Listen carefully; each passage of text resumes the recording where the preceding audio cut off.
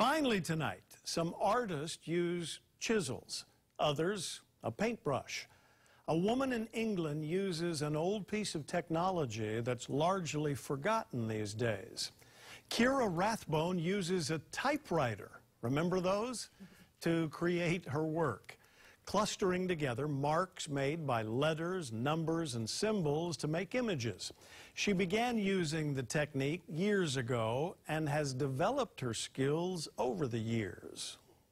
I do something that surprises people, and then in, in turn they surprise me with, with what they might say or a look they might give me. Uh, any kind of interaction, I just, uh, I guess that, that's where I get the inspiration from.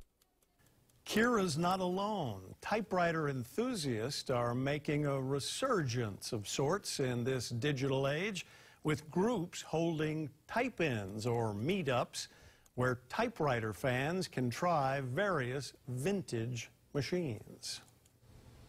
I've got an IBM Selectric in my office. I bet you do. I don't know what. Now, why No. would you say it that way?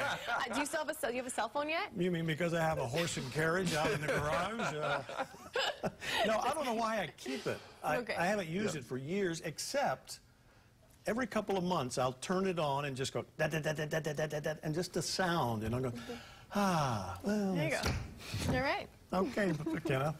That's our 10 o'clock news for this Thursday for KHON2 News. Have a good night and a great tomorrow. Have a good one. Aloha.